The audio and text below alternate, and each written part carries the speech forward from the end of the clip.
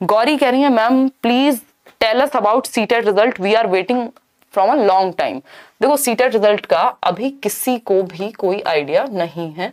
आने को कभी भी आ सकता है, कब आएगा नहीं पता। हम मार्च में वेट करेंगे, उसके बाद ही कोई एक्शन लेंगे।